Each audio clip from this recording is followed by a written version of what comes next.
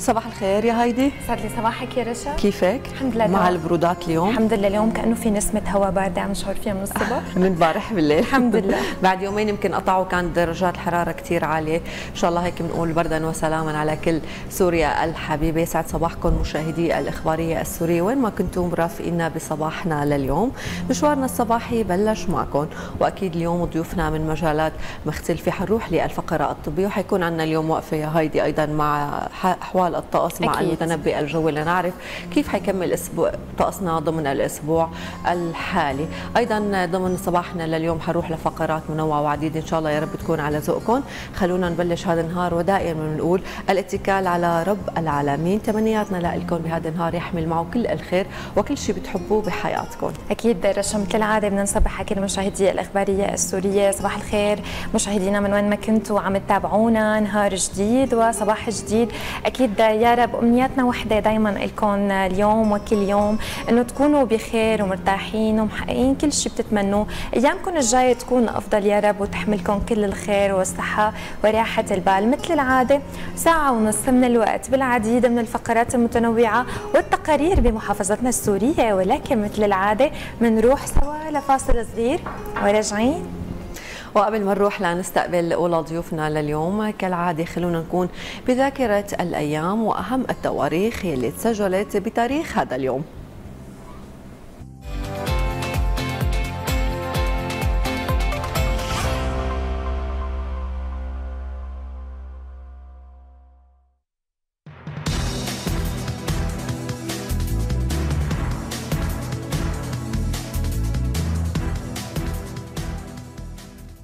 اليوم 22 حزيران كثير من الأحداث تسجلت بتاريخ هذا اليوم.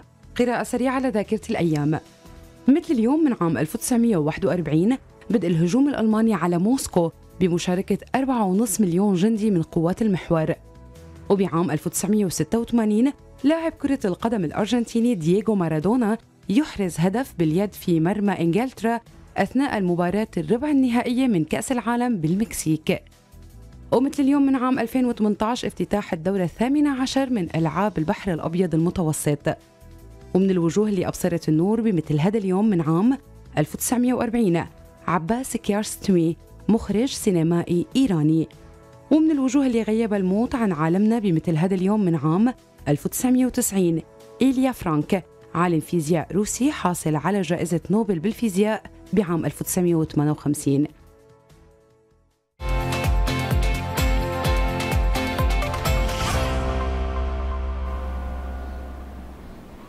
وأكيد مشاهدينا من روزنامة التاريخ خلونا ننتقل مباشرة لفقرة هل تعلم؟ ومجموعة من المعلومات الغريبة والمنوعة اللي عم تكون موجودة دائما ضمن صباحنا. خلونا نتعرف عليها سوا وبنرجع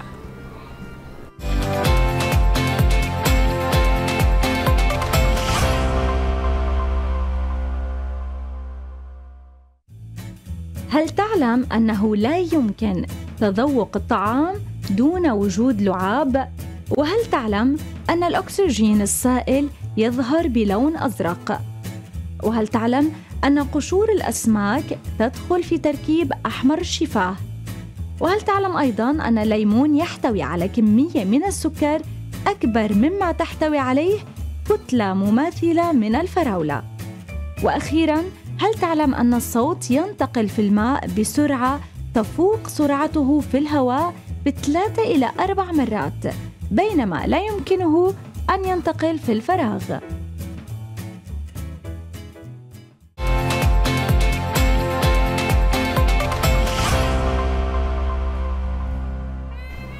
وبأول تقاريرنا لليوم حنروح لليوم العالمي العاشر لليوغا من أجل السلام الكوني.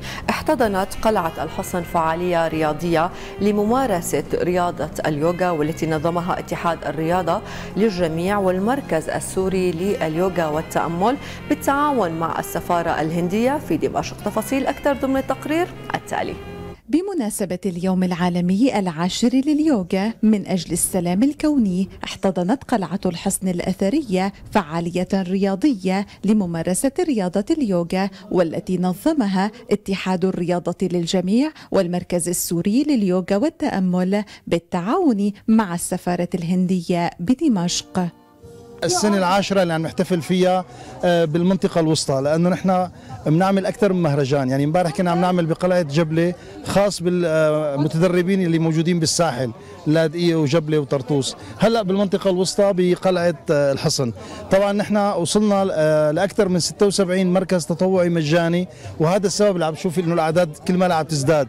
لأنه هي رياضة هذا وقتها الحالي المناسب للأمراض مثل الاكتئاب والتوتر والقلق. من الارجين إنه سوريا هي خاصرة التاريخ سوريا ولاده بأبنائها مهما صار فنحن دائما معيارنا السلام والمحبة لأنه بالمحبة تبنى الأوطان. كان طبعا الفعالية هي المهرجان العالمي لليوغا آه، تحت عنوان التلام الكوني. آه، نحن آه، هي التنة احتفلنا فيه بهذا المكان لرمزيته لخصوصيته ودعما للقلعة وللتراث الموجود طبعا. تضمنت الفعالية التي حظيت بمشاركة أكثر من 200 شخص من مختلف الأعمار تمارين متنوعة من رياضة اليوغا إضافة إلى رقصات رياضية قدمها عدد من الأطفال واليافعين والسيدات من مختلف المراكز المنتشرة في عدة محافظات.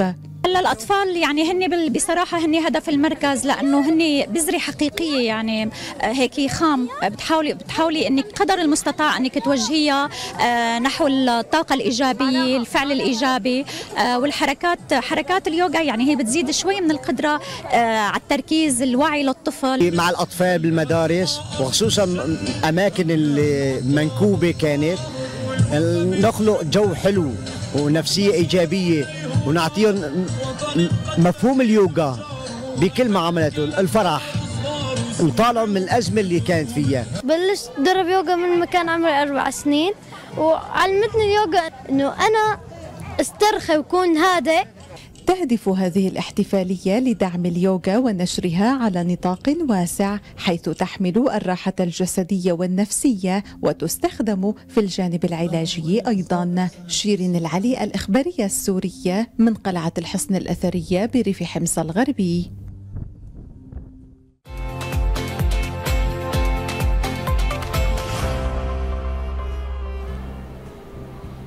صباح الخير لكم مشاهدينا عن جديد. لكل حدا انضم لصباحنا وشاركنا فيه مع موضوع طبي وصحي كثير مهم.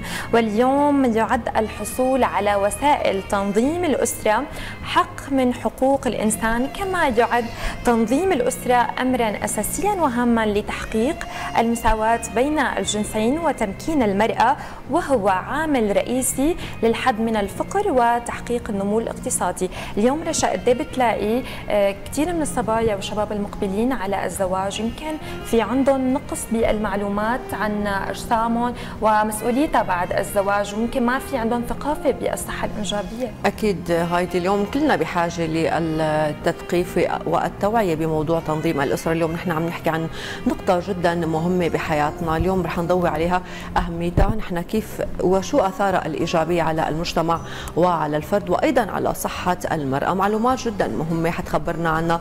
ضيفتنا على اليوم وهي الدكتورة سارة جنيات ماجستير بالأمراض النسائية وجراحتها يسعد صباحك دكتورة. صباح الخير أهلا وسهلا فيكي. صباح الخير دكتورة. أول شيء مبروك الماستر. الله يبارك فيك مبروك فيكي. دكتورة خلينا نتعرف من حضرتك اليوم عن تنظيم الأسرة كمفهوم وأيضا عن الصحة الإنجابية كمفهوم. شو بتخبرينا أكثر عنه؟ هلا تنظيم الأسرة هي عبارة عن مجموعة من الطرق والأساليب يلي بيتبعها الأفراد من يتحكموا بعدد الأولاد. وتوقيت ولادتهم ويبعدوا بين الولادات. وليس هي كما إنه مفهوم خاطئ إنه بتحديد النسل. تحديد هي ما تحديد النسل. هي إنه نتحكم بعدد الأفراد وتوقيت ولاداتهم ونباعد بيناتهم. أما الصحة الإنجابية هي آه، مفهومة إنه القدرة على الإنجاب بطريقة صحيحة وآمنة آه، وتوفير الرعاية الصحية قبل الحمل وأثناء وبعد الحمل. طيب دكتورة اليوم هذا التنظيم عم بيكون له آثار إيجابية جدا مهمة على الفرد على المجتمع وحتى على ان على صحة النساء بشكل عام. يعني عم بيقلل حجم الوفيات عم بيقلل عدد الإجهاضات اللي ممكن تتعرض لها المرأة. خلينا اليوم نتوسع أكثر يعني بهي النقطة يعني. هلأ تنظيم الأسرة له أهمية كبيرة. آه، بتحسين جودة حياة الأسرة. وبالغض كمان بالإضافة لذلك إنه بيقلل من المخاطر المحتملة الناتجة عن الحمول المتكررة. وكمان إنه بيوفر للطفل آه، آه، صحة يعني إنه بيوفر رعايته اللازمة يعني بعد الولادة. وكمان في نحن عندنا فوائد صحية مثل ما حكيت إنه بيقلل من حالات الإجهاض بيقلل من المخاطر المحتملة بسبب بسبب الحمول المتكررة. وكمان إنه بيقلل من وفيات الأمهات حول الولادة. تمام. خلينا نعرف من حضرتك دكتورة شو هي أساليب تنظيم الأسرة وكيف ممكن اليوم نحن نعرف نختار الطريقة الصحيحة والطريقة المناسبة الافضل لكل أسرة؟ شو هي المعايير اللي لازم يتبعوها؟ تمام. هلأ نحن ممكن إنه نصنف نحن وسائل تنظيم الأسرة لأربع مجموعات يعني حسب إنه ديمومه الحالة. يعني مثلا إنه إذا كان بدنا نحن ننظم الأسرة لفترة مؤقتة ممكن إنه نحن نستعمل واقيات الذكريه أو الأنثوية. إذا كان بدنا لفترة أطول ممكن إنه نستعمل حبوب منع الحمل آه، الهرمونية. هلأ هي بحاجة لالتزام أكبر من قبل الزوجة. يعني إنه بدها تتذكر انه يوميا لازم تاخذ تاخذ هي حبة آه، مشان تكون هي الوسيلة فعالة بشكل أكبر. هلا وفي عندنا نحن كمان وسائل ثانية مثل الغرسات آه، أو الزرعات اللي بدها تنحط تحت الجلد. هي ممكن إنه تدوم فترة فعاليتها آه، لمنع الحمل ممكن لسنوات. وكذلك اللوالب يلي بتنحط داخل الرحم ممكن تكون نحاسية ممكن هي تضل إنه فعالة ل up to 10 سنين الهرموني ممكن لخمس سنين. وكمان في عنا آه، المجموعة الثالثة هي المجموعة منع الحمل الطبيعية يلي هي بالرضاعة. هي يعني فيزيولوجيا الجسم إنه بيصير في عنا منع حمل خاصة إذا كانت المرضع آه، عمر ال baby أقل من ست شهور. آه، ممكن إنه بطريقة العزل يعني إنه يصير الجماع فقط بفترة يصير إنه تبعد عن الجماع بفترة الإباضة وحولها. هلا وفي كمان عنا نحن المجموعة الرابعة هي إنه ممكن إنه الأسرة تقول لك إنه نحن ما بقى بدنا أولاد إنه اكتفينا. أو ما عندهم قدرة إنه مثلا آه، يجيبوا أولاد. فانه هن ممكن آه، أو في لها شروط كمان إنه مثلا فوق ال 40 آه، جابت عدد أولاد معين. فهون ممكن تلجأ لحالات المنع الحمل بشكل دائم. يلي بنسميها نحن التعقيم الذكري والأنثوي ربط البوقين أو الحبل المنوي. هلا في كمان نحن نختار وسيلة الحمل آه نحن آه يعني بنساعد بتكون باستشارة الطبيب أكيد آه فلأنه في كثير عوامل نحن آه بناخذها بعين الاعتبار يعني الحاله العامة الصحيه للزوج. زوجين آه، التاريخ المرضي لهم يعني في عندنا نحن موانع حمل ما يمكن استعمالها أو هي مضاد استطباب آه، بحالات الضغط السكر بحالات إذا عندها مشاكل بالكبد أو شيء فنحن ممكن نتوجه لخيار آه، بوسيلة لتنظيم الأسرة بشكل آخر. ممكن كمان سهولة الاستخدام. يعني ممكن السيده تقول لك أنا إنه بنسى يعني أنا اخذت الحبه اليوم ممكن أنساها يعني. فنحن وقت ما في يكون في التزام يومي بأخذ حبوب مانع الحمل بتقل فعاليتها. فنحن هون ممكن إنه آه، نعطيها خيار إنه تحط لولب بنحط لها إياه وبتنسى يعني. فهو آه، ممكن إنه يساعد. وفي نساء مثلا وسيلة تنظيم الأسرة بالإضافة إنه من آه، بصير في عندها حماية يعني بدها إنه بتطلب إنه هي بدها تحمل من الأمراض المنقوله جنسيا. فنحن هون نحن نعطيها الخيار الواقيات وكمان نحن في شغلات عوامل ثانية يعني مدى توافر وسيلة تنظيم الأسرة يعني إنه إذا كان آه، شو متوافر نحن بنقدم لها معلومات إنه شو هي الوسيلة يلي متوافرة عنا بسوريا. وكمان التكلفة يعني كمان الأهل لازم يكونوا بعين الاعتبار إنه شو هي التكلفة. وكمان من العوامل اللي نحن بناخذها بعين الاعتبار الخطط المستقبلية للحمل. يعني مثلا السيدة إنه بتقول لك إنه أنا ماني مؤهلة إنه أنا هلأ أجيب بيبي. يعني بدها تأخر فترة معينة. فنحن بنعطيها وسيلة إنه قابلة للعكس. يعني مو من آه، قابلة للعكس. وممكن إنه السيدة تقول لك إنه أنا بدي أحمل فورا فنحن بنساعدها بالتخطيط للحمل. ويعني مثل ما قلت لك خيارات كثير خيارات كثيره ففي هي العوامل يعني. يلي نحن خيارات متاحة ونحن حسب الحالة حسب نحن بنوجهها آه، للشريكين. طيب اليوم هدول الخيارات عم يكون لهم تأثير جدا إيجابي مثل ما قلنا على صحة المرأة ولكن أيضا لهم آه، إسقاط على الحالة الصحية للأسرة. يعني اليوم آه، في رعاية بيكون أكبر للأطفال عددهم أقل. خلينا نحكي بهي النقطة. بالنسبة للفوائد الصحية لتنظيم الأسرة مثل ما حكيت إنه هي بتقلل من وفيات حول الولادة بتقلل من حالات الحمل الغير مرغوب وحالات الإجهاض وحالات الحمل المفاجئ.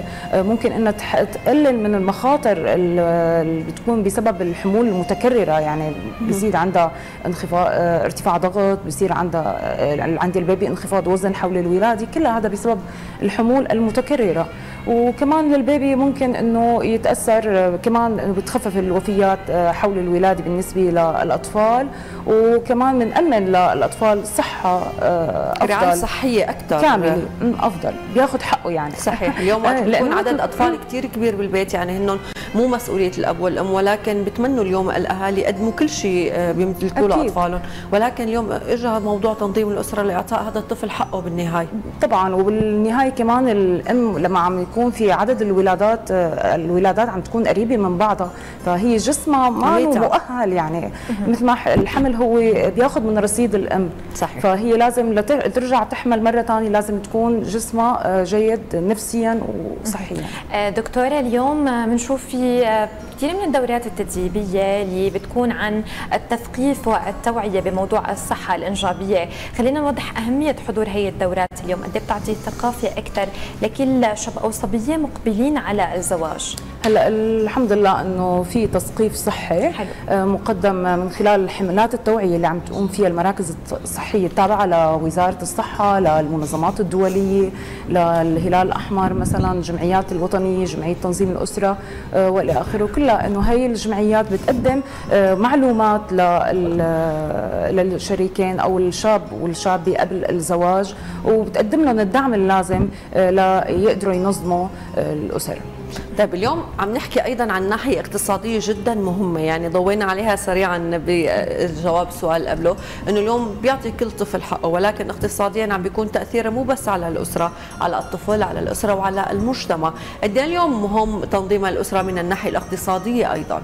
هلأ أكيد إنه تنظيم الأسرة هو رح يحسن من الوضع الاقتصادي مثل رح يقلل من حالات الفقر ومن حالات سوء التغذية. يعني مثلا الرغيفي اللي بنقدمه لشخصين مو لطفلين مو مثل لعشرة فرح يقلل من حالات سوء التغذية يلي عم تصير. وكمان عم يكون إنه يعني هي مسؤولية الزوجين مسؤولية الزوجين إنه تنظيم الأسرة لأنه هن مسؤولين عن تربية أطفالهم وحمايتهم وتوفير لهم الفرص التعليمية ليعلموهم بشكل جيد.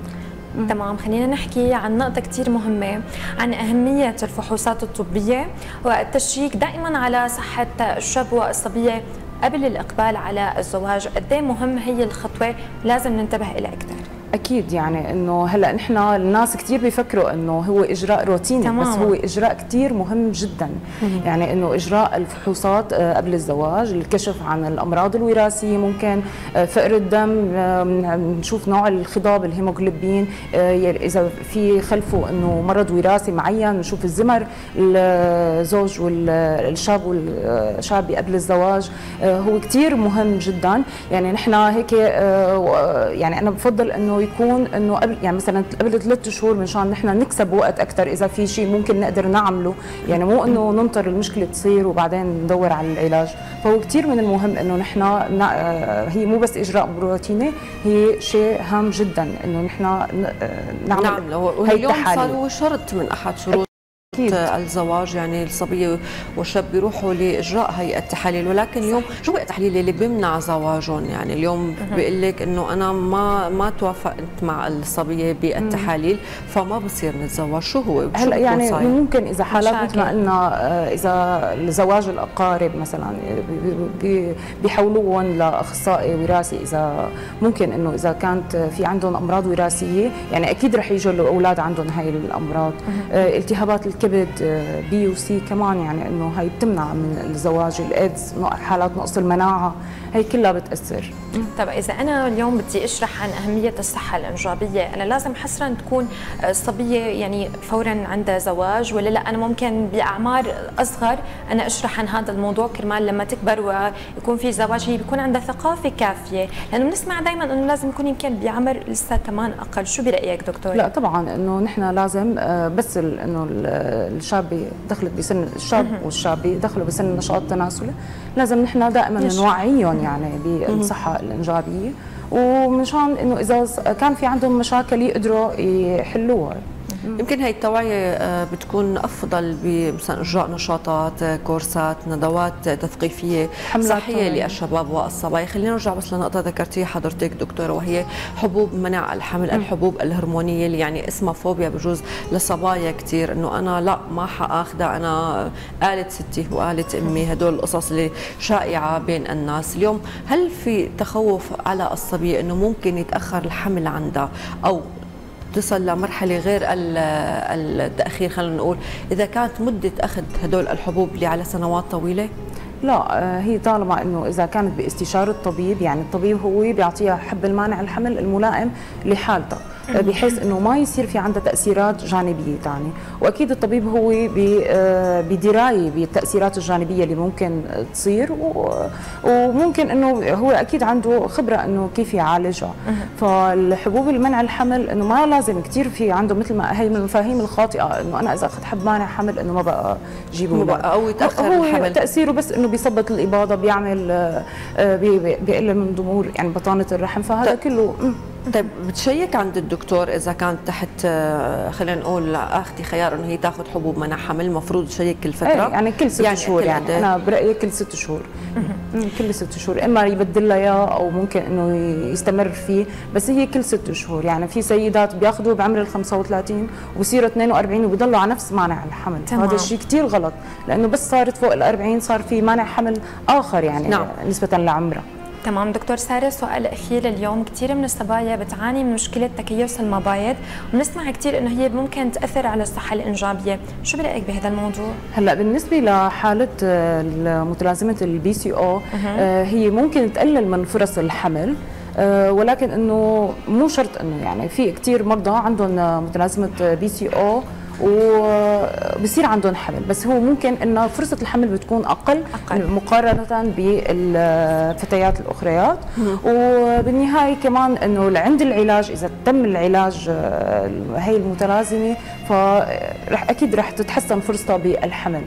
فمن خلال يعني مثل ما قلت لك العلاج المحافظ هو أساسي بمتلازمه بي سي أو. يعني ممكن ما تضطر تاخذ لا حبوب مانعه حمل ولا تضطر تاخذ أي شيء دواء ثاني بس إنه من خلال تعديل نمط الحياة ممكن إنه تحسن يمكن تعديل النمط الغذائي الصحي أه. البدني اليوم. دائما نحن بنسمع من حضرتك وكثير من الأطباء النسائيين انه اليوم النشاط البدني جدا مهم ببعض المشكلات اللي بتعاني منها المرأة على آه، بالمبيض. دكتورة خلينا نروح هيك لنصائح عامة اليوم. شو بتتوجهي للشباب والصبايا المقبلين على الزواج؟ شو بتحبي تقولي بموضوع تنظيم الأسرة وأهميته ونتائجه الإيجابية على الأرض؟ هلا انه أنا بنصح كل شاب وصبيه قبل الزواج أكيد يعني يراجعوا طبيب ويستشيروا طبيب قبل بثلاث شهور مشان إذا في في مشاكل انه يقدروا يحلوها يعني. وكمان إنه الطبيب أكيد رح يوفر لهم المعلومات الصحيحة حول تنظيم الأسرة ويناقشهم إنه إذا هل هن جاهزين لهي الخطوة ويتشاوروا معه بخططهم الإنجابية المستقبلية. هل هن جاهزين هلأ يكون في عندهم بيبي آه، ولا بدهم يأجلوا؟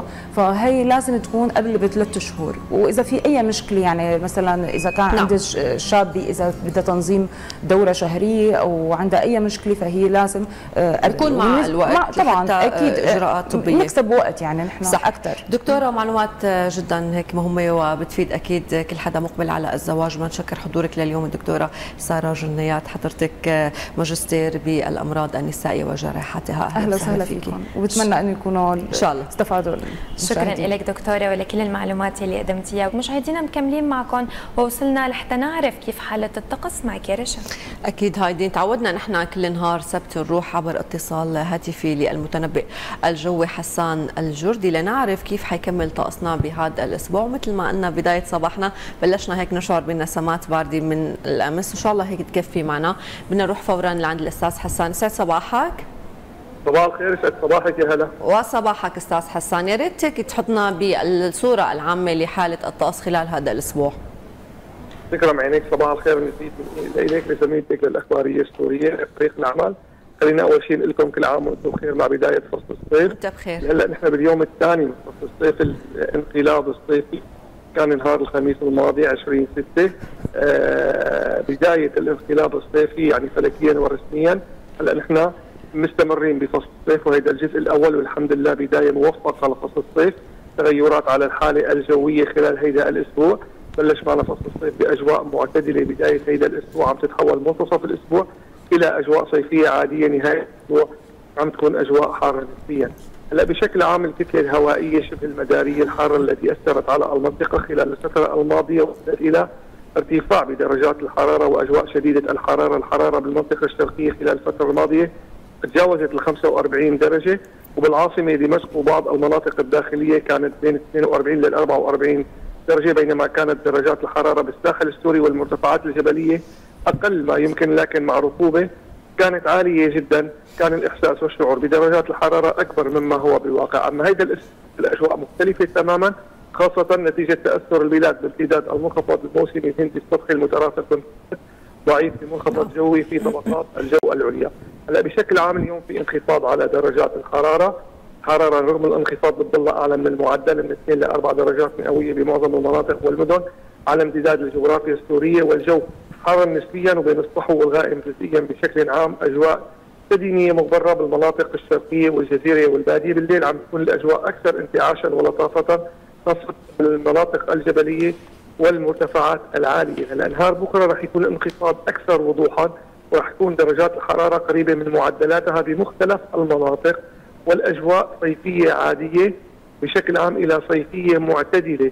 ورح يكون الطابع الاعتدال على الأجواء. نهار بكرة أفضل بكثير وخاصة بالمناطق الجبلية، المناطق الساحليه، بعض المناطق الداخلية والأجواء بين الصحوه والغائمة جزئيا بشكل عام مع فرصة لهطل خفيفة عشوائية الحدوث محلية من المطر بالمنطقة الساحلية، أجزاء من المنطقة الوسطى والشمالية ومرتفعات القلمون.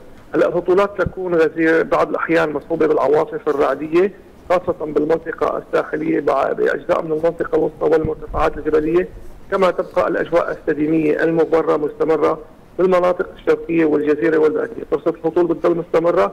نهار الاثنين ولكن بمنطقة الجزيرة وبالساحل السوري والحرارة في يوم الاثنين بتضل قريبة من المعدل أو أعلى من المعدل بقليل كما تستمر الأجواء الصيفية المعتدلة والعادية حتى يوم الاثنين، الرياح بشكل عام عم تكون غربية إلى جنوبية غربية بين الخفيفه والمعتدلة.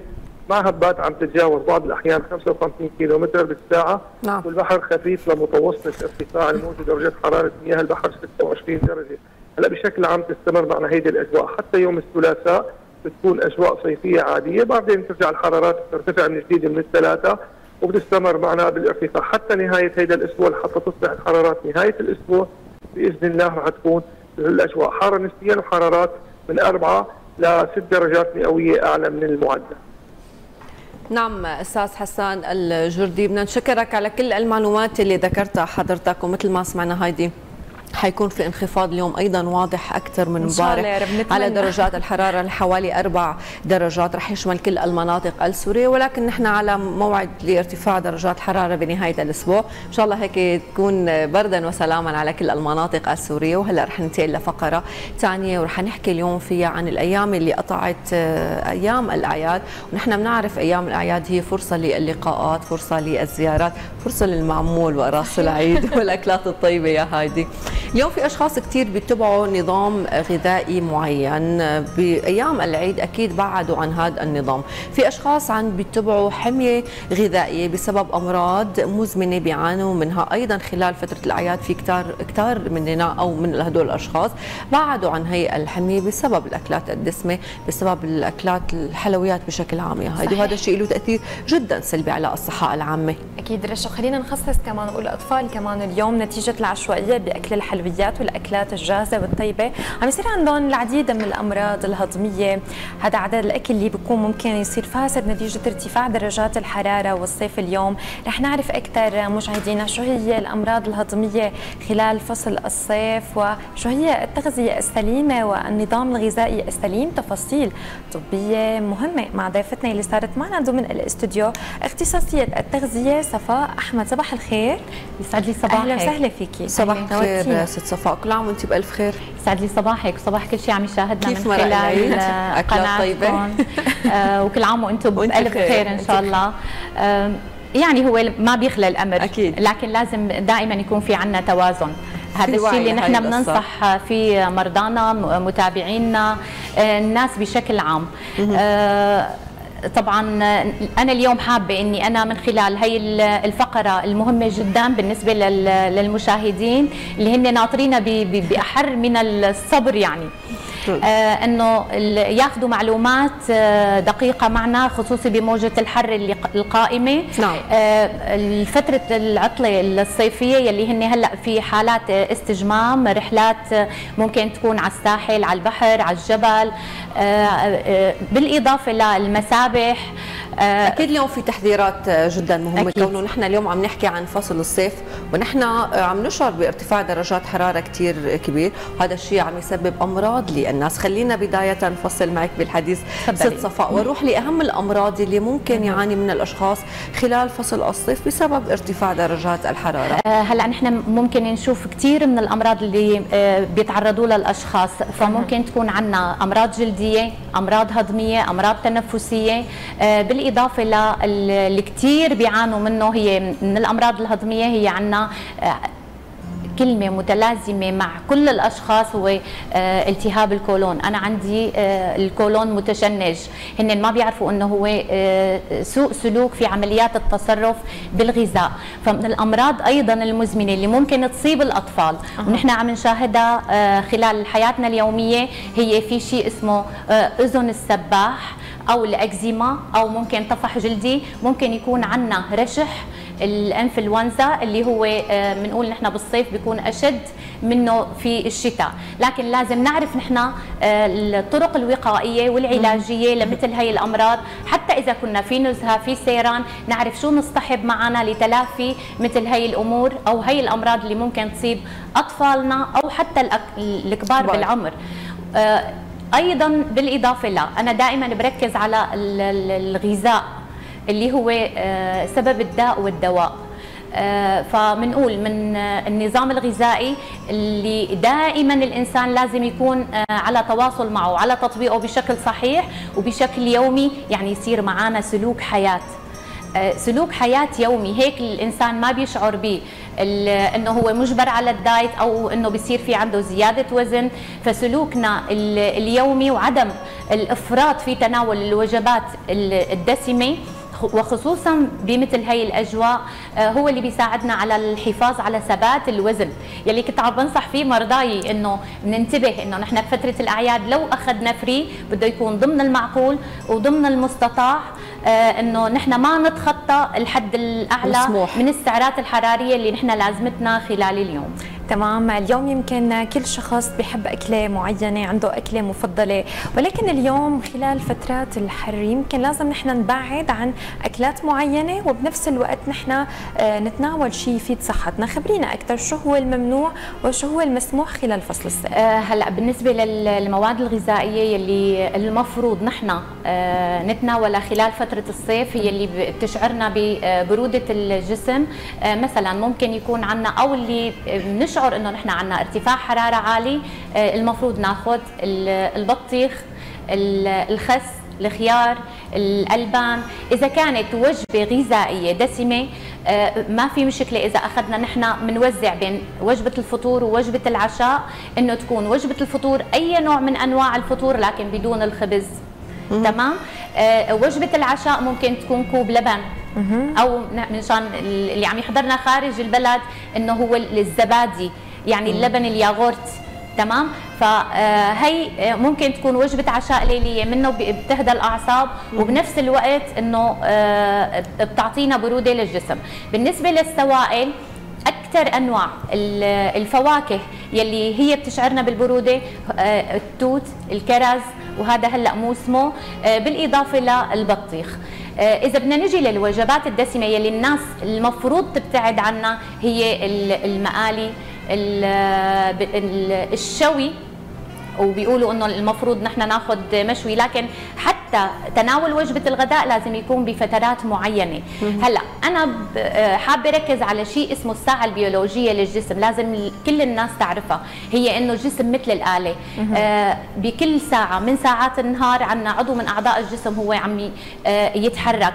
فنحن بهي الفترة بدنا نعرف شو بدنا نعطي هذا العضو خلال النهار من مواد غذائية أو حتى إن نحن نوقف الوجبات الغذائية نهائيا وخصوصي بفتره بفترات الليل. هذا اللي عم يلجأوا له الناس هلأ إنه هن بيمتنعوا كل النهار وبياكلوا بففترات الليل فهن عم يمنعوا جسمهم من التخلص من السموم يلي بتتم ما بين الساعة 11 والساعة 5 صباحا. آه فهون نحن بدنا ننبه عليهم إنه لما بنقوم نحن في عنا آه آه, آه، تشنجات بالكولون آه الناس عم تعاني من حالات الإمساك الشديدة. هذا لأنه نحن عم نعطل الجهاز الهضمي بالفترة الصباحية آه، ما بين الساعة 5 والساعة 6 لذلك توقيت الوجبات ضروري وأساسي. في حدا بيقول أنه أنا ما بفطر ما بت... بيعتمدوا وجبة واحدة أحيانا. غلط. هلأ هذا آه، غلط سلوكيا. نحن بنقول لهم لا تاكلوا لحتى تشعروا بالجوع.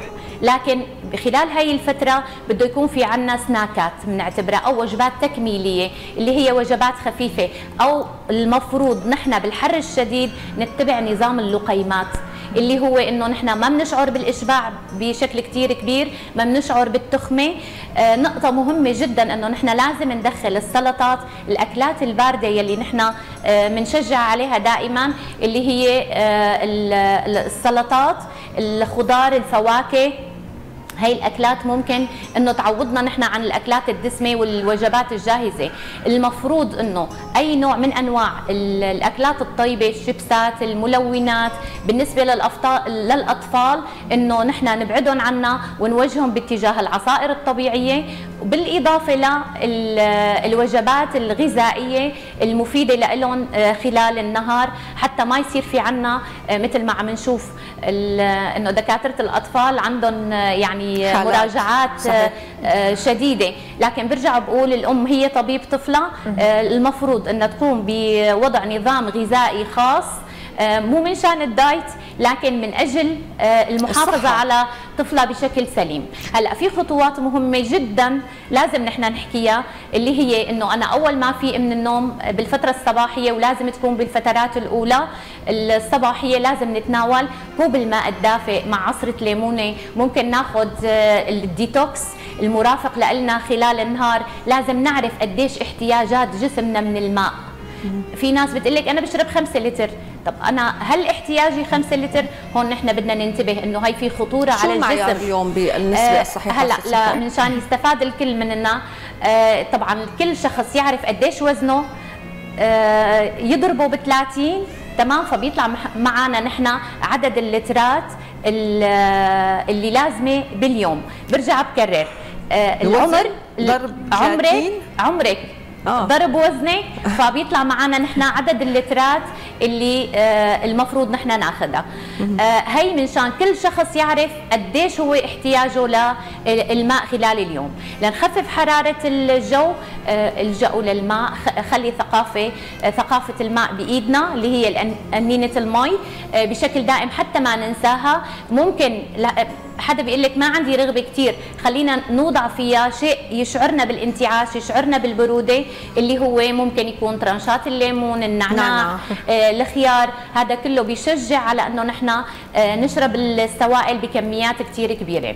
طيب ست صفاء اليوم يعني اللي عم تحكيه الناس كلها يعني خلينا نقول هو معلومات عامة ولكن في نقطة ذكرتيها إنه الجسم هو ساعة بالنهاية وبكل ساعة في عضو بالجسم عم بيتحرك المفروض نحن نعطيه حقه ولكن في عندنا جزء كبير أو النسبة الأكبر من الأشخاص هنن وظائف أصحاب عمل بيطلعوا من بكير بيجوا آخر النهار ممكن ياكلوا وجبات سريعة ما عندهم أو هنن غير قادرين أصلا يلتزموا بهذا النظام الغذائي. شو هي الخطوات يعني لهدول الأشخاص اللي نحن قادرين إنه ولو بنسبة كثير بسيطة نعوض هذا الجسم المتعب.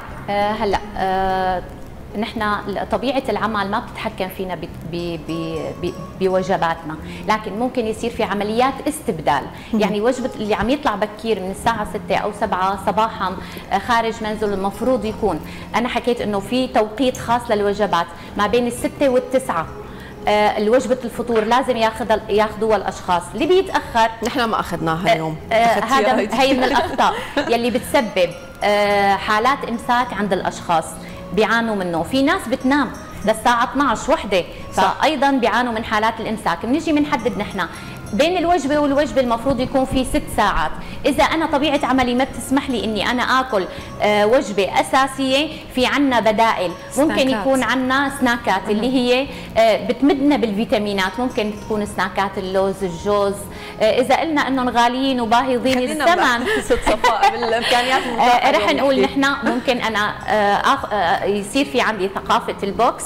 تمام؟ ونوضع فيها فواكه حلو. معينة ونصطحبها معنا سواء كانت بالحقيبة أو بالسيارة أو حتى بالمكتب اللي نحن آه، موجودين فيه. ما نعود بالمواد السكرية والأكلات الشوكولا السريعه صرنا نعود بالبسكوت الصبح وبالسمونه الصبح وكلها يعني هلا هي نقطة كثير غلط اللي هي إنه نحن لما بنبدأ آه، نهارنا مع فنجان القهوة بقطعة بيتي فور أو قطعة آه، حلويات أو سكريات صناعية هون نحن عم نرفع سكر الدم عنا فعم يصير في عنا تعب وإرهاق خلال النهار. هذا الشيء اللي عم يخلي الإفراط آه، في زيادات الوزن عند الأشخاص. صحيح. لذلك بنقول خلينا نبدأ نهارنا بتفاحة ممكن ثلاث حبات تمر آه، ممكن يكون آه، مثلا من الأنواع اللي آه، موجودة أو متوفرة عندنا بالمنزل. تمام. ست صفاء ببداية حديثنا مع حضرتك ذكرتينا عن مرضى القولون العصبي. قديش اليوم بحاجة لنظام غذائي وممكن تأثروا كثير بالأكل.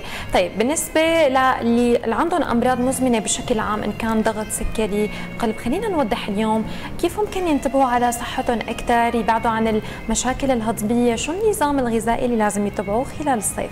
آه كثير حلو. هلأ آه خلال هي الموجة اللي نحن موجودين فيها أول شيء المفروض يهتموا ببرودة جسمهم. آه يلبسوا ملابس خفيفة. آه, آه، بالإضافة لأنهم يتواجدوا بمكان بعيد عن أشعة الشمس حتى ما يصيبهم إرهاق. لأنهم هن بيضلوا بحالة خمول كل فترة كل النهار.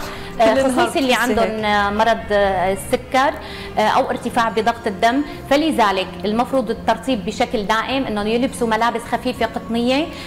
ما يطلعوا بعد الساعة 10 خارج المنزل عدم التعرض لأشعة الشمس بشكل مباشر. المفروض إذا نحن اضطرينا حسب طبيعة عملنا المفروض نستخدم قبعات نظارات شمسية. آه شمسية ممكن. حتى نحن نتلافى آه أشعة الشمس وما نتعرض لها بشكل مباشر. بالنسبة للغذاء آه لأي شخص سواء كانت أمراض مزمنة أو غير مزمنة. أول شيء المفروض هو يضل متابع مع الطبيب المختص اللي هو متابع عنده. آه، ضمن التعليمات ياخذ الأدوية بشكل صحيح وبمواعيدها. المفروض إنه نحن نفيق بالفترات الصباحية. آه، نعمل آه، نص ساعة رياضة حصريا. هي نص ساعة الرياضة اللي كثير بيعانوا منها الناس إنه نحن ما فينا. ما قادرين. لكن قبل الساعة سبعة أو ستة آه، المفروض يكونوا هن راجعين من من درس الرياضة الصباحي. هي النصف ساعة بتساعدهم على النشاط آه، بكامل اليوم. بالنسبة للغذاء حسب كل حالة مرضية ونوع المرض اللي هن بيعانوا منه فالمفروض يكون في تحديد لنوعية الغذاء المناسبة الخاصة فيهم. أكثر شيء نحن بنقول إذا إذا شعر الشخص بارتفاع ضغط الدم فأبسط عامل في ناس بتتجه للسكريات بونبوني مي وسكر. طبعا هي من الأخطاء اللي بيرتكبوها لأنه نحن آه، إذا انخفض عندنا السكري السكر. أصعب من ارتفاعه آه كمان. فبدنا نعرف كيف نعالجه. هي عملية تهدئته وضعه آه، بغرفة مظلمة آه يشعر بالهدوء ببرودة الأطفال. أهم نقطة أنه نحن بهي الساعات وكثير عم يسمعوني وقالوا لي إياها إنه نحن كل خمس دقائق بنفوت تحت الدش. فلازم نعمل آه، دش خفيف بماء دافئ. آه، نبتعد عن المي المثلجة وعن المثلجات والبوظه آه، لأنه باعتقادهم إنه هي بتبرد القلب. هي طيبة. أكيد لا آه، لا غنى عنها لكن المي المثلجة أو الباردة جدا آه، مؤذية وما بتشعرك بالشبع ابدا. بتضلي انت عم آه، يعني محتاجة لماء أكثر. يعني ما بتبرد لنا قلبنا مثل ما بيقولوا بالعامية. فلذلك المفروض نحن نهتم بكمية السوائل إعطائهم نصائح هامة للغذاء الهام بالنسبة للأمراض المزمنة. هلا أنا ما فيني أحكي شو هي الأغذية لأنه كل مرض في له غذاء خاص, خاص. فيه. فهذا إجباري كل طبيب بيكون عاطيه لمريضه المفروض يكون عاطي لمريضه آه، نظام غذائي. الأغذية الممنوعة والأغذية المسموحة آه، لكن أنا كأخصائية تغذيه بقول آه، الإنسان يجب أن لا يمتنع عن أي شيء بالحياة وخصوصي بمواسمه لكن دائما ناكل بحصص. كم حصة مخصصة لنا؟ من الفواكه من اللحوم من المواد البروتينية آه، من البقوليات.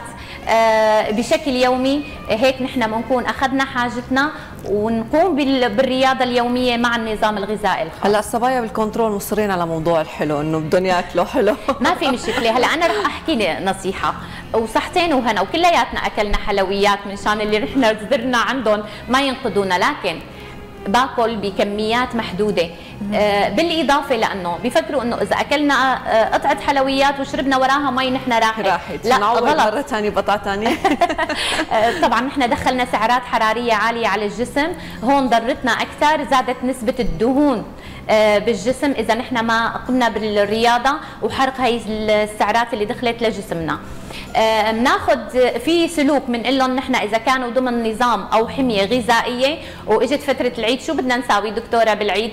فبنقول لهم نحن نتعود سلوك حياة. حتى لما بتتركوا أخصائي التغذية آه، لتحافظوا على وزنكم نحن كنا يومين فري وحسينا حالنا إنه نحن كثير خبصنا بالأكل أو آه، تخطينا الحدود فأنا بعمل عقوبة لنفسي آه، ثلاث أو أربع أيام في عملية تنظيف الجهاز الهضمي.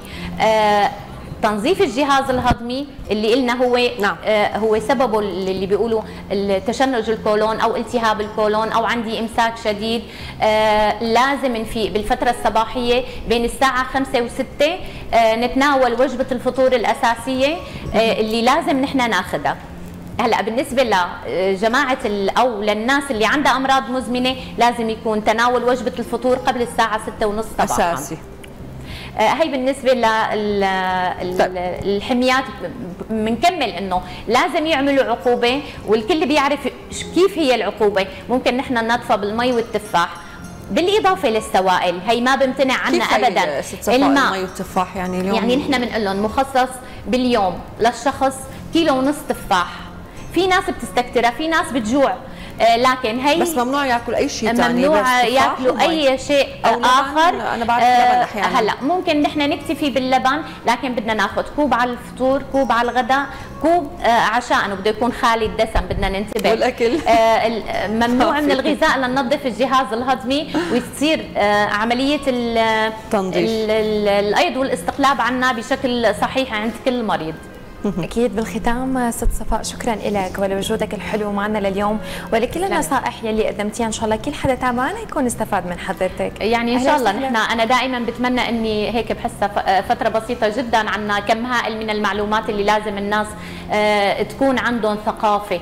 أكيد. آه ثقافة حياة آه يتعودوا عليها بشكل دائم حتى نحافظ على آه صحتنا وجهازنا الهضمي وأجسادنا وجماليتنا كمان لأنه جمال الشخص بشكله الخارجي وشكله الداخلي. أكيد ست صفاء هي هيك خطوات صغيرة مثل ما بنقول بنرجع بنتعود على أسلوب حياة صحي يعني مثل أكيد.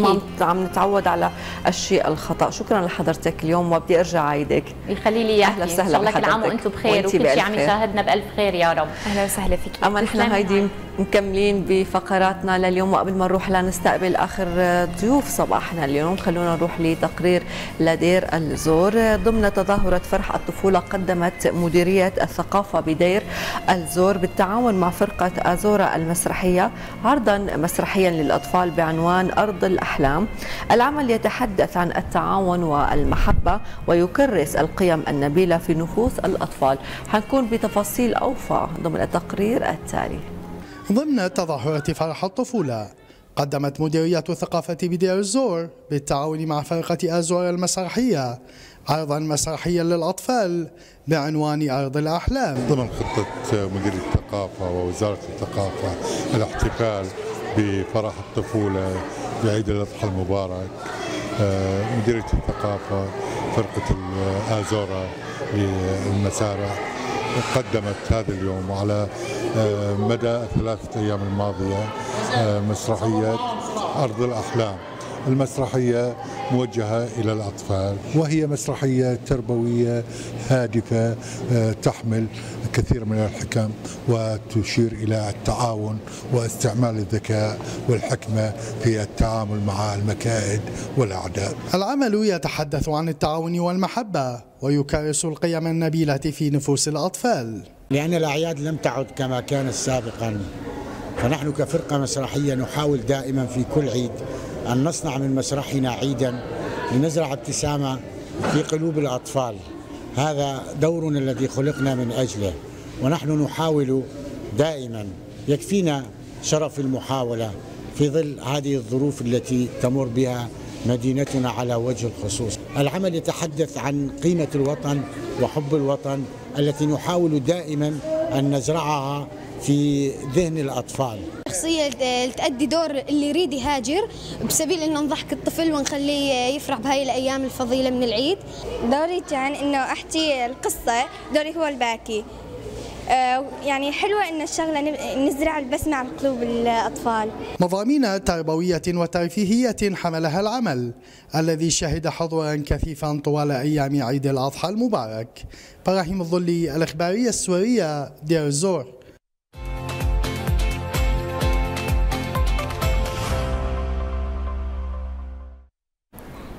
رشا موضوعنا القانوني؟ بنسمع عنه كثير بالفترة الأخيرة إن كان على مواقع التواصل الاجتماعي أو على أرض الواقع الطلاق بأنواعه العديدة. اليوم رح نحكي عن الطلاق التعسفي. بنسمع عنه أنه هو طلاق الزوج للزوجة بدون أي مبررات بدون أي سبب منطقي. دائما يمكن الأثر النفسية عم تكون مو بس للزوجين. إذا كان في أطفال هن الخاسر الأكبر. دائما هن خلينا نقول الحلقة الأضعف. صحيح. بكل مشاكل الزوجين وبيكون التأثير جدا سلبي وخاصة إذا كانوا الطرفين عم يتصرفوا بدافع ردات الفعل أو الأنانية الداخلية. فالطفل هو خلينا نقول الحلقة الأضعف في هي القصة. اليوم ضمن صباحنا رح نحكي عن الطلاق التعسفي. شو هو هذا الطلاق؟ وكيف شمله القانون السوري, السوري؟ وكيف نحن قادرين نميزه عن باقي أنواع الطلاق؟ واليوم شو حقوق المرأة ضمن هي الحالة؟ معلومات جدا مهمة قانونية حيخبرنا عنها ضيفنا لليوم وهو الأستاذ أحمد السيطري. بدي لك سعد صباحك أستاذ واهلا وسهلا فيك. سعد صباحكم. صباح الخير أستاذ. صباح الخير صباح الخير الساده المشاهدين يعني موضوع صحيح ثقيل شوي على الصباح ولكن للأسف موجود بشكل كثير نعم. كبير. الطلاق التعسفي كيف عرفه اليوم القانون السوري؟ الطلاق التعسفي هو لما يقوم الزوج بتطليق زوجته دون أي سبب بإرادته المنفرده ودون أي سبب مشروع أو قانوني. ودون أن يكون للزوجة أي دور بإيقاع هذا الطلاق. يعني تكون بيجحف بحق الزوجة. بهالحالة هي القاضي شو قرر؟ قرر إنه يعطي للزوجة تعويض عن هذا الطلاق نفقه لا تزيد عن ثلاث سنوات بالإضافة لنفقه العدة. يعني هذا بيكون كتعويض للزوجة بسبب إجحاف الزوج بالقيام بتطليق زوجته. بالإضافة لهالشيء يعني بنرجع آه، القاضي بيبحث إنه بالنسبة للزوج في مبرر في شيء حتى استدعيت انه أنت توصل لانك بتطلق زوجتك أكيد ما بده يكون في شيء. هذا سبب الطلاق التعسفي بيلزمه بالتعويض. يعني اليوم حتى لو ما في مبرر لهذا النوع من حالات الطلاق القاضي غير يعني هو غير قادر إنه يلزم الطرفين نعم. يعني إنه يبعدوا عن هذه القصة. ولكن بيروح لموضوع النفقة والالتزامات المادية. النفقة لا تزيد عن ثلاث سنوات بالإضافة لنفقه العدة. والمهر كامل المهر المعجل والمؤجل. بس دائما نحن نشكر السادة القضاة دائما بيسعوا بأي نوع من أنواع الطلاق بيسعوا إنه يوفقوا بين الزوج والزوجة. طيب. طيب أستاذ خلينا نروح للحالات. شو هي الحالات اللي بيكون هذا الطلاق يعني حقق شروطه بالقانون السوري؟ أول شيء بده يكون بإرادته المنفرده للزوج. الزوجة دون أي رضا بالنسبة لها. آه، دون أي مسوغ شرعي أو قانوني. مجرد إنه خلص بده يرمي الطلاق إنه ما في عنده أي مبرر والزوجة ما بيكون معها أي سبب أو بسببها تم هذا الطلاق طيب أستاذ أحمد اليوم هل ميز القانون السوري الطلاق التعسفي عن باقي أنواع الطلاق؟ خلينا نوضح هي نعم. النقطة. هلا بالنسبة للطلاق التعسفي واضحة مثل ما حكينا مثل ما تفضلتي بالمقدمة إنه دون أي سبب بسبب آه، الزوج بارادته المنفردة، الزوجة ما إلى أي ضلع بهالموضوع. بالنسبة للطلاق على المادة 117 طبعا آه، إجت آه، كمساعدة للزوجة وإجت مع الزوجة بالتعديل اللي تم.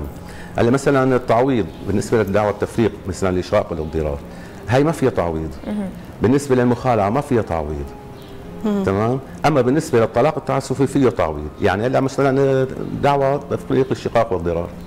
شو مضمونها مضمونها بصير آه، مجلس عائلي نحن عم نختصر لأنه بصير في أول شيء تبليغ بعدين إخطار بسجل الدعوة.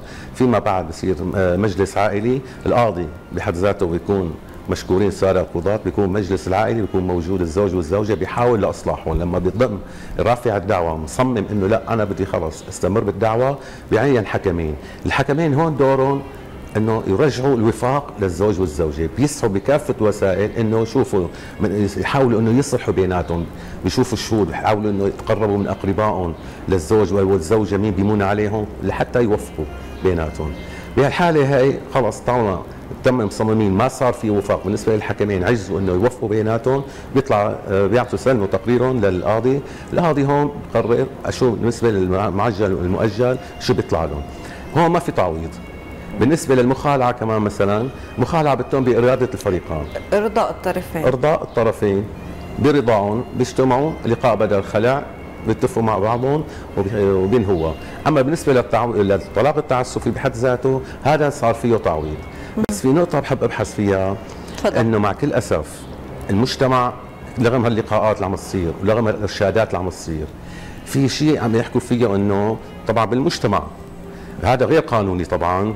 ننصح الزوجة إنه تتروى وتتريس وتستوعب في نقطة هامة كثير اللي هي إنه وقت عم تطلب الزوجة التفريق عم يجي الزوج يقول لها أنت طالما انت طلبتي التفريق معناتها ما بيطلع لك لا متقدم ولا متأخر أه. هيك هيك مجتمعنا مع كل أسف إنه ما عم يستوعب هالفكرة هي إنه لا الزوجة إذا طلبت في مبررات في أسباب في حكمين هن اللي عم يقرروا ياما زوجة رفعت دعوة لحتى آه مثلا تفريق الشقاق والضرار لا سيما عم تاخذ كامل حقها. هون بيرجع للحكمة بيشوفوا شو مثلا متقدم متأخر كامل متقدم آه، جزء من المتقدم جزء من المتاخر هي القاعدة العامة بالمجتمع مع كل اسف إنه باعتقادها بيقول لي خلص طالما أنت بدك الطلاق معناتها لازم تتنازلي. بتقول له أوكي دون علم بالقانون. شغلة ثانية إنه مثلا الأطفال. كمان هون الأطفال عم يقول لها إذا بدك تطلقي تبريني من كل شيء. هي اول نقطه حكينا فيها. النقطة الثانية بيقول لها بتتنازل عن حضانة الأطفال. هاي حضانه الأطفال أنت مو من حقك إنك تلزمها بالتنازل عنه لقاء إنه هي بدها تطلق وتلبي لها رغبتها بالطلاق. هاي النقطة كمان هامه كثير لأنه لحد الآن بيراجعونا ناس إنه أخي هي طلبت الطلاق. أستاذ لو سمحت معناتها بدها تبريني من كل شيء. نحن بنعارض بهالشيء لا مو من حقك أنت تلزمها بهالشيء. هذا بقرره القضاء هي إذا بدها تطلق مو من حقك إنه تلزمها تبريها إنها تبريك من المتقدم والمتأخر. وخصوصا إذا كان في أطفال بدها تتنازل عن الحضانة. أنا هذا شرطي لحتى أرضى. لا هذا مو من حقك أنت لأنه الحضانة معروفة ل 15 سنة. الموضوع يعني الرأي الأخير للقضاء. القضاء يعني بالزبط. اليوم ما في زوج اليوم تلزمها تبقى مع زوجها ما بدها إياه يعني. بالضبط. هو هون عم نلاقيها فرصة طبعا للجهل بالقانون. والزوج ممكن يكون عنده علم بهالموضوع إنه مو من حقها إنه تتنازل. بس هو بيلاقيها فرصة بسبب الجهل. هي ننصح فيها إنه ما بيحق له يلزمها بالتنازل عن الحضانة، الحضانة 15 سنة فيما بعد بيصير في خيار للأطفال. هي النقطة أهم شيء إنه ممكن نبحث فيها أو ننصح السادة المشاهدين إنه هذا الشيء غلط. على هي النقطة. غلط. اليوم المرأة أستاذ أحمد يعني وقت اللي بتتعرض للإهانة الزوجية هي عندها استعداد تتنازل عن أي عن نعم. أي شيء نعم. بيربطها بهذا الشخص كرمال تبعد. يعني نعم. اليوم عم نحكي عن عن شيء إنساني عن شيء روحاني هي عم تشعر فيه هي المرأة. يعني بجوز هي بتعرف اليوم إنه أنا حقي ولكن ما بقى بدي شيء. هذا موضوع ثاني تماما. بالضبط. يعني برافو. هذا كمان عم يصير إنه الناس بيجونا أنا بدي بتقدمي بتأخري بدي وبدي. بالآخر بتتراجع أو من الباب تجينا بتقول أنا بدي أخلص منه. صح. حياتي معه سيئة.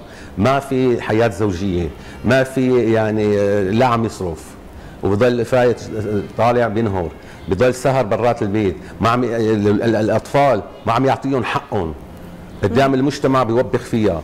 المجتمع يعني مع كل أسف إنه يعني عم يشوف المظاهر هي كل مره المراه الزوجة شو عم يصير فيها عم تتأثر. لا عم يصرف. وما في اهتمام منزلي بضل خارج المنزل داير على مثل ما بقول المثل على حال شعره دون اهتمام لحياة. شو لازم القدسية الحياة الزوجية إلى قدسية إلى احترام. لازم يكون الطرفين الزوج والزوجة عم يبادلوا نفس الشعور. الزوجة تقدر زوجها شو عم يقدم وعم يشتغل طبعا نحن عم نحكي بشكل عام. بشكل عام. كمان هي ثقافة مجتمع شرقي بالضبط يعني بالضبط. هذا الشيء ما بصير مع يعني مع كل أسف كمان حالات الطلاق عم تزيد. ليش؟ شيء الموبايل بيلتهي فيه شيء عند جارتها والزوج كمان بحق رفقاته. يعني هذا الشيء عم يأثر وبالاخير وين عم ينصب؟ على الأطفال. برافو. عم ينصب على الأطفال من دراستهم من ثقافتهم من اجتماعيتهم من وضعهم حالتهم النفسية بالحارة بالمدرسة. كله هذا عم يتأثر فيه الطفل عم ينعكس الشيء على الطفل. صحيح يعني ذكرت تفاصيل يومية وحياتية عم يمروا فيها كثير من الأشخاص. خلينا نحكي اليوم صار في شيء أي تعديلات على حقوق الزوجة؟ في حال طلقها زوجها طلاق تعسفي؟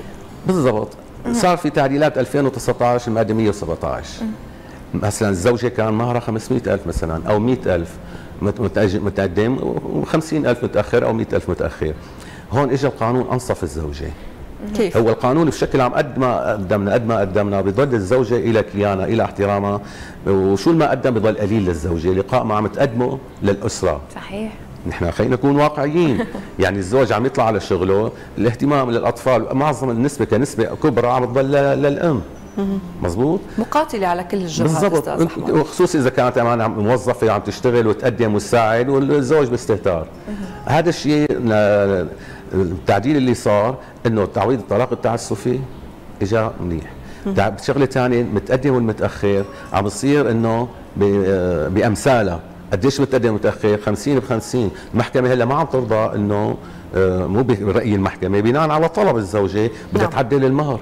تعديل المهر صار لا بأس فيه. طارق. يعني تقريبا فينا نقول مهضوم يعني صار على الوضع الراهن إنه عم يصير تعديل. يعني تعديل آه، في بالملايين عم تصير. طبعا حسب حالتها ووضعها الاجتماعي وحسب حالته ووضعه الاجتماعي.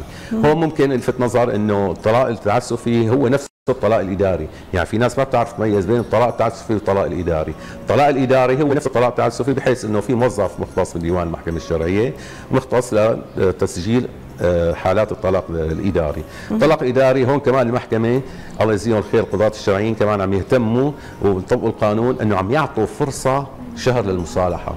مثل مثل دعوة تفريق الشقاق والضرار. نعم. كمان بيعطوا بعد ما يصير تبليغات وتبليغ أو إخطار أو إذا كانت بلغت آه، الزوجه أو الزوج من أول مرة بصير بده يحضر عم يعطوا شهر للمصالحة. ولحتى صار في عندنا يعني جمعيات مثل مؤسسات إنه للوفاق بين الزوج والزوجة. يعني هون كمان عم يسعوا الله يجزيهم الخير إنه يوفقوا إنه بلكي بيتراجع الزوج أو الزوجه إذا كان كمان هي كانت رافعة الدعوة بلكي حسوا لعل إنه يتراجعوا وعم يحاولوا إنه يوفقوا بيناتهم. والله عم يبذلوا جهد مليح. الله يجزيهم الخير. طيب اليوم أستاذ أحمد خلينا نضوي على نقطة جدا مهمة وهي محور آه، أي آثار كان إيجابي أو سلبي بحياة العائله وهم الأطفال في حال الطلاق التعسفي. آه، شو مصير الأطفال إذا كانوا في سن الحضانة أو لا؟ بالنسبة لموضوع الأطفال سن الحضانة الطلاق التعسفي هذا موضوع خاص حكينا فيه أنه بيطلع للزوجة نفقة آه، لا تزيد عن ثلاث سنوات المهر بيتعدل وفق القيمة الرائجة حاليا بتعرفوا شلون كانت من قبل شلون هلأ بالنسبة للقيمة المالية وبالنسبة للأطفال إذا ما كانوا حكينا- في سن الحضانة إذا ما كانوا بسن الحضانة هون فوق 15 سنة بضل الخيار لإلهم خيار. للأطفال مم. أما الزوج مثل ما حكينا إنه عم يستغل الفرصة ليضغط على زوجته لتبريه. أحيانا المرأة بتكون تروح لردة فعل جدا سلبية إنه أنا ما بدي الأولاد. أنا مهم. بدي أتنازل عن الاولاد كرمال يعني هي مو كرمال لأنه ما بتحب أولادها ولكن هي ردة فعل تجاهه يعني إنه تحملوا مسؤوليته بشكل كمان. سؤالك هذا. كثير وجيه. كمان إنه الزوجة عم عدم مؤاخذه وقت عم تضل مرتبطة مع الأطفال. ال- شو عم يخليها عم تضل مع الأطفال؟ عاطفتها أمومتها. عاطفتها الحض... يعني الأمومة تبعها. هون الزوج يعني ما عم يقدر هالشيء هذا كليته. الزوجة عم راح مستقبلها. ضمنا راح مستقبلها بشكل عام إنه عم تهتم بهالاطفال بيجي مثلا طلقت إذا حدا بده يتجوزها والله هي مهتمة بأطفالها. أما نحن يعني أنا مشان ما الناس تفهم غلط نحن ما عم نقسي قلب الأم على على على أطفالها. أطفال لهم حنن قلب الزوج على بالضبط. لا هي يعني ممكن تكون وسيلة ضغط إنه يتنازل عنه. عن حضانتهم قال له أنا مالي مسؤوله مالي ملزمة. لا سيما إنه معلش خلينا نكون واقعيين إنه النفقة اللي عم تترتب على الزوج للأطفال شو عم تكفي؟ ما عم تكفي أكيد. بالضبط. عادية بتخليها تكون وسيلة ضغط على الزوج. صحيح. أنا بدي أتنازل عن الأطفال. الاطفال مين بده يربيهم؟ أكثر من امهم ما في وأحسن من امهم ما في. بغض النظر إنه الأب نعم له دور عم يقدم واجبه بس كل الفترة العظمى عم تضل مع الأطفال مع الأم. هون بدنا ينعكس الشيء هذا بشكل سلبي عليهم. بس طبعا نحن عم نحكي إنه بشكل عام إنه لما الأب بيكون أب بمعنى الكلمة مو أب أناني. تحمل المسؤوليه بشكل كامل. مو بشكل إنه يكون أناني ما بهمه غير مصلحته ما بهمه الأطفال. تماما. لأن الشيء هذا بده ينعكس عليه. وأطفاله سمعته. صح. شو اسمهم؟ أولاد فلان. ما بقول أولاد فلانة.